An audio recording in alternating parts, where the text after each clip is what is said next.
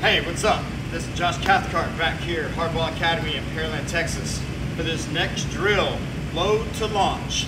Simplest drill ever, maybe the most beneficial drill for young players getting into the proper hitting position or launch position. Okay, for those of you that may have not have heard of launch, launch is when the front foot hits the ground.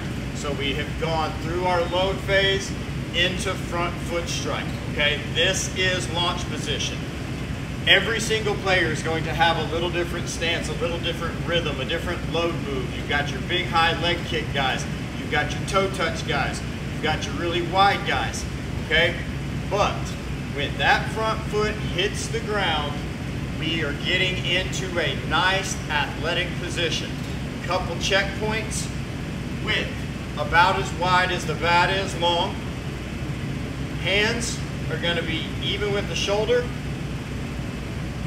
over the back foot, with this barrel somewhere around 45 degrees, okay? It can fluctuate maybe a little flatter for some, maybe a little more upright. Don't want to get back here, don't want to get out here, okay? So launch position, pretty universal. There's going to be a little bit of fluctuation between hitters, but overall, when that front foot hits the ground, this is what we're looking for.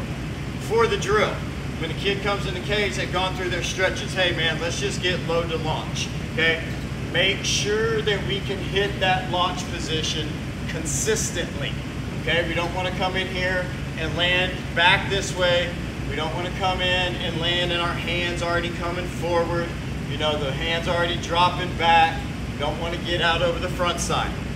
Landing in a consistent launch position is key for having success in the batter's box. We've got to be able to get there on time. We've got to be able to get there properly, consistently. This is huge. This will be a game changer. Film your kid.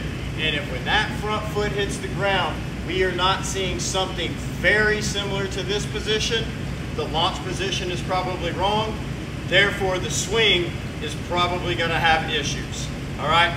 Give this one a try today. This is an everyday drill for players of all ages.